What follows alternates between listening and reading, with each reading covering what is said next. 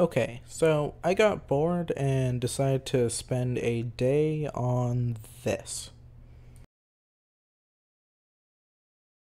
That's right, you can see this little guy. Run, jump, fall, die. You can even get Monty.